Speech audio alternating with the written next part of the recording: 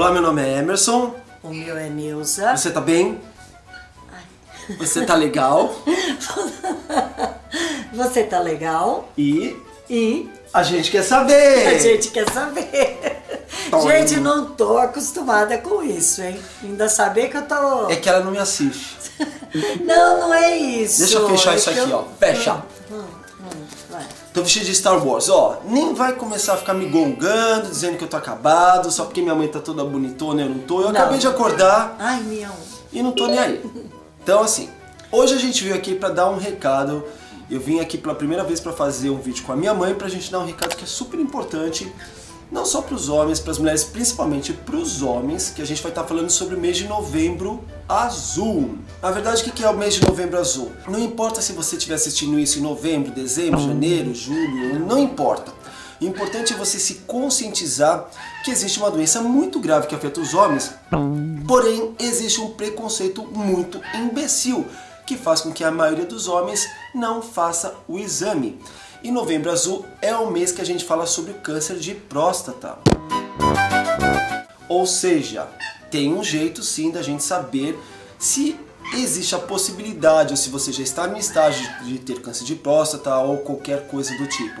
E esse exame é feito através do toque. Toque. O homem, ele tem um pouco de receio de fazer esse exame só pelo fato de saber que é um exame meio chatinho, né? Mas só que eles têm que lembrar o seguinte, que esse exame é feito em cinco minutos. Então a posição, o que introduz, o que faz, é coisinha bem rápida. Não é uma coisa que vai afetar em nada Não vai afetar a masculinidade, idade né? dele. Ah, vou nada deixar de ser disso. homem porque um Não. homem ou uma mulher, não sei, a né? co- tocou. é, mas ele tem que saber o seguinte, que esses cinco minutos desagradável, chato pra ele, que ele acha que vão gozar com a cara dele, não tem nada a ver.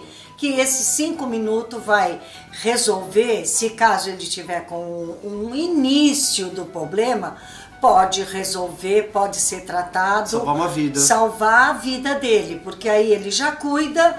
Se ele não fizer isso, o que, que vai acontecer? A doença vai se agravar, aí ele vai ser muito pior, porque ele vai ter que passar por cirurgia, por eh, Quimioterapia, quimioterapia, radioterapia. Um radioterapia, é um tratamento muito longo. Câncer é um- eu uma sei, coisa- eu sei como que é, porque eu tenho na família, então a gente, a gente sabe como que é desagradável a preocupação e a pessoa vai ter que ficar, não é, por exemplo, ah, ah, descobriu a doença, vou lá, faço a cirurgia, faço a, a quimioterapia, radioterapia e tô livre. Não simplesmente tem que ser acompanhado durante muitos anos. Então, gente, para com isso, vai lá, faz o exame de toque, porque é desagradável, porque eu como mulher falo que a gente mulher passa por coisas muito pior. É verdade, não é? Isso. Tem que ficar numa posição muito- que você não tem é ideia uma que coisa- posição terrível e vocês podem fazer isso. é, se não me engano, a, a idade é de 45 anos É, ou a de novidade. 40, 45 anos. Nós, mulheres, já começamos com esse problema desde jovem. Porque as jovens de hoje em dia não estão livres de ter problema de câncer de útero, câncer de mama, essas coisas. Então, temos uma, é, uma vida inteira. Eu, na minha idade, agora eu não minto a minha idade, eu tenho 65 anos, eu tive meu primeiro filho com 23, então, desde então, eu vou no médico regularmente, uma vez por ano. Eu faço Papa Nicolau, exame ginecológico, exame de mamas e uma série de exames que fazer. eu faço tudo para quê? Para me cuidar. E não é por causa disso que eu vou dizer que eu tô livre de ter uma doença ou não. Então, vocês homens têm uma, uma possibilidade ainda de começar a fazer esse exame desagradável para vocês com 45 anos. Então eu acho que, que gente, por favor, se cuida. Aí, ó, E não- vai que você gosta, né? não é? Vai É, tem um problema. Mas aí vocês têm que entender o seguinte, outra coisa, nós estamos no mês de novembro, que é sobre a, o assunto, mas não é só no mês de novembro não. Vocês têm que é o ano inteiro, Não de importa. janeiro a dezembro, a se cuidar. E não precisa ter 45 anos. Qualquer dúvida, é uma doença silenciosa. Então vocês têm que ir atrás, tem que estar sempre alerta, porque tem uns outros tipos de exame, se não me engano, é exame de sangue, que eles é, fazem também, que a pessoa também é um alerta se tem ou não. Não estou bem a par, mas eu acho que sim. Então vamos lá, gente, para com esse preconceito e, e vamos, vamos Ó, se tratar. você não vai, se você é homem, se você tá assistindo, você não vai deixar de ser homem porque você fez esse exame, tá? Não. Aliás, você vai ser até mais homem, porque um cara que A se coragem, cuida, é. né, é, prova que ele é homem assim de verdade, que ele é ser humano de verdade, que deixa de ser idiota. E outra coisa, mesmo que você tenha um preconceito absurdo, faça o exame e não fala pra ninguém, fica na É, sua, Fica na entendeu? sua. Sabe que só você curtiu isso, isso fica um segredo entre a gente, abafa. É, abafa. Eu não sei se isso é possível. Há muito tempo atrás eu precisei fazer um exame para saber como é que estava a minha próstata. Só que no meu caso não foi feito através Exame do de toque. Foi Eles me- exame de sangue. Não, foi exame de sangue, mas junto foi um raio-x, um, um, um scanner, eu não lembro Não, direito, não faz muito ultrassom? tempo. É, eu sei que eles me deitaram, passaram um scanner pelo meu corpo e dessa que é forma ultrassom. eles viram como estava o meu A próstata. a minha próstata. Eu não sei se pode ser feito desse jeito, eu acredito que não. Não, mas disse que o exame decisivo mesmo, toque. é o principal, é o de toque. Então tem outros exames para você ver e tal, tudo, mas o principal é o exame de toque.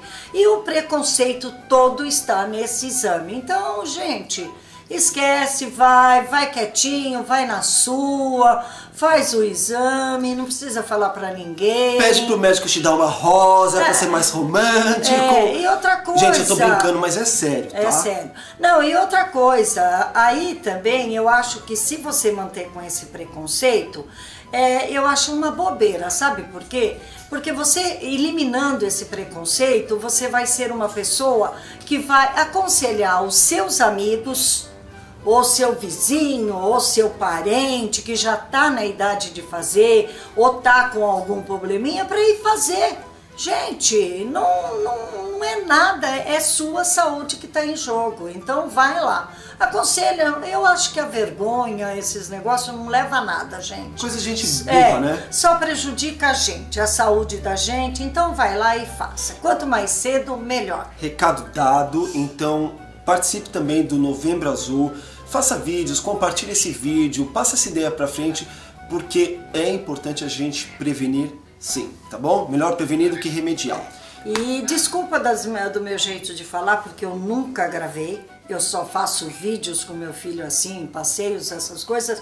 Então eu não sou muito de luzes, de câmera. Nem é, tá? né? Não parou de falar. É, Nem mas é. tudo bem, já que era um recado, eu Recado muito bem tentando- dado. Espero que vocês aceitem. Pros homens. É, pros- e pras mulheres Pras também, pra mulheres indicar pros também, homens. Mulher é, pode é. fazer câncer de mama, um monte de coisa. A gente tá falando É. sobre câncer de próstata, mas isso vale pra todo mundo, entendeu? Deixa esse Ah, preconceito e não esqueça outra coisa também, porque o homem pensa que câncer de mama só dá em mulher, hein? Tem homem também, né? Dá em homem também. É muito raro, mas dá. Então, não custa também fazer uns exames, falar com o seu médico, porque não deixa de ser um alerta. Vai fazer tudo. Faz Aproveita tudo, e faz é? um check-up de tudo. É pra ficar, aí. ó, bonitão. Tá bom? Então é isso, gente. Espero que você tenha gostado. Muito obrigado pela sua audiência e a gente se vê no próximo vídeo. Namastê. Namastê. Ah, tchau.